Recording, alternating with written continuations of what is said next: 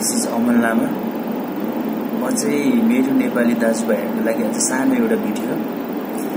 PSBD गार्डको बारेमा।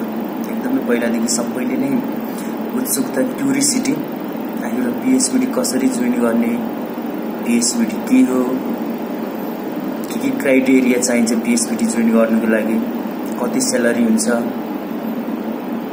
कस्तो के के फेसिलिटी छ भन्ने बारे चाहिँ म तपाईँहरूलाई थोरै डिटेल थोरै जानकारी चाहिँ गराउन चाहन्छु। पहिला तपाईँहरूले के बुझ्नुपर्छ भन्ने बित्तिकै पिएसबिडी भन्ने बित्तिकै अबुधाबीभरि मात्रै हुन्छ। पिएसबिडी भनेको प्राइभेट सेक्युरिटी बिजनेस डेभलपमेन्ट यो चाहिँ तपाईँको अबुधाबी बाहेक चाहिँ अरू क्षेत्रमा चाहिँ हुँदैन। पिएसबिडी भनेको चाहिँ अबुधाबी र यसको लागि चाहिँ हामीले पिएसबिडी भनेको चाहिँ पिएसबिडी गार्ड भनेको चाहिँ यो अबुधाबी पुलिसको अन्डरमा बसेर चाहिँ हामीले काम गर्नुपर्ने हुन्छ अबुधाबी पुलिसको अन्डरमा बसेर अबुधाबी पुलिसलाई सपोर्ट गरेर हामी अबुधाबी पुलिसको अन्डरमा चाहिँ काम गर्नुपर्छ र तपाईँहरूले सोध्नुभएको थियो स्यालेरी कति हुन्छ त भन्दाखेरि चाहिँ पिएसबिडीको स्यालेरी भनेको बेसिक स्यालेरी भनेको दुई हजार हो आठ घन्टाको चाहिँ सत्ताइस दिनको छब्बिस दिनको आठ घन्टाको छब्बिस दिनको दुई हजार हो र बाह्र घन्टाको छब्बिस दिनको चाहिँ सत्ताइस सय सत्तरी हो। र सत्ताइस सय सत्तरी चाहिँ तपाईँको बाह्र घन्टाको छब्बिस दिनको। र यताउति गर्दाखेरि चाहिँ तपाईँको अब चाहिँ महिनामा दुईवटा मात्रै अफ भए एउटा मात्रै अफ भए भने चाहिँ तपाईँको नभए नि यहाँको तिन हजार एकतिस सय बत्तिस सय आउँछ। र एकतिस सय बत्तिस सय भनेको नेपालको चाहिँ लगभग एक लाखै हुन्छ। नेपालको चाहिँ लगभग वान लाख यहाँको एकतिस सय बत्तिस सय भनेको चाहिँ नेपालको वान लाख हुन्छ। र तपाईँहरूलाई क्वालिफिकेसन के के चाहिन्छ त? कतिको हाइट कति क्वालिफिकेसन कति पढाइ चाहिने हो? मिनिमम क्वालिफिकेसन चाहिँ तपाईँको टेन पास चाहिँ हुनैपर्छ। मिनिमम क्वालिफिकेसन टेन पास चाहिँ हुनैपर्छ। र इङ्ग्लिस चाहिँ अलिकति जानेको हुनुपर्छ। इङ्ग्लिसमा चाहिँ किनभने तपाईँहरू यहाँ ड्युटी गर्नुहुन्छ भने पिएसबिडीको गार्डको लागि ड्युटी गर्नु हुन्छ भने चाहिँ यहाँ कि त अरबिक जान्नु पऱ्यो यहाँको लोकल भाषा। कि त इङ्ग्लिस एकदमै मजाले पर्फेक्ट बोल्नु सक्नु पऱ्यो क्लियर बोल्नु सक्नु पऱ्यो बुझ्ने गरी बोल्नु चाहिँ सक्नु पऱ्यो। त्यसको लागि चाहिँ इङ्ग्लिस एकदमै चाहिन्छ।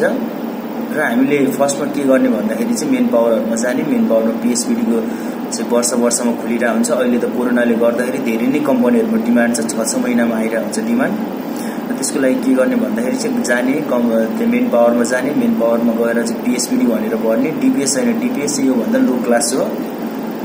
पिएसबिडी चाहिँ अलिकति चाहिँ हाई क्लास हो त्यही भएर चाहिँ पिएसबिडीमा लगाउने। जाने डिमान्ड आउँछ वर्षमा जान्छ अहिले छ छ महिना कहिले चाहिँ पाँच महिनामा पनि जान्छ। एकदमै मान्छेको अहिले यो कोरोनाको चाहिँ महामारीले गर्दाखेरि मान्छेको एकदमै डिमान्ड छ अहिले सजिलो छ पहिलाको भन्दा।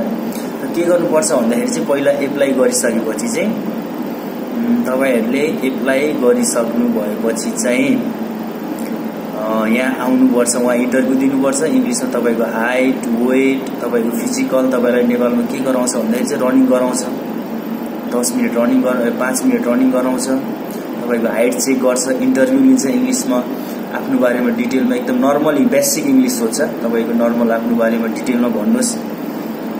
इन्ट्रोड्युस युर सेल कति पढ्नु भएको उनीहरू चाहिँ तपाईँको चाहिँ एकदमै इङ्ग्लिस कतिको कन्फिडेन्ससँग बोल्नुहुन्छ कतिको क्लियर बोल्नुहुन्छ भनेर त्यो चेक गर्नुहुन्छ।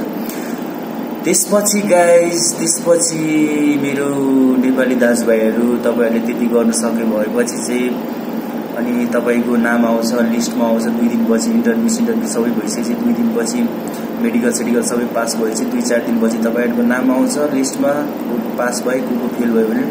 पास भइसकेको पास भइसकेपछि चाहिँ तपाईँको भिसा पनि एकदमै एक महिना पच्चिस दिनभित्रमा चाहिँ यो पिएसबिडीको भिसा पनि एकदमै छिटो जान्छ। एक महिना पच्चिस दिनभित्रमा चाहिँ गइहाल्छ।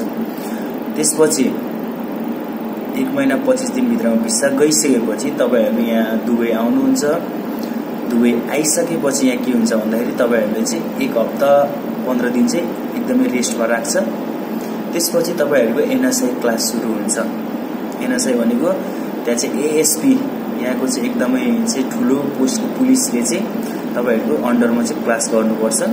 त्यहाँ गएर क्लास गरेर सात दिनको क्लास हुन्छ। सात दिन क्लास गरेर अनि पास भइसकेपछि सात दिनको क्लास पास भइसकेपछि चाहिँ अनि बल्ल सात दिनको क्लास पास भइसकेपछि सात दिनको क्लास पास भन्दा नि पुरा भइसकेपछि चाहिँ अनि बल्ल तपाईँको चाहिँ फेरि इक्जाम हुन्छ। इक्जाम तपाईँले पास गर्नुपर्छ एनएसआई हुन्छ एनएसआई पास गर्नुपर्छ।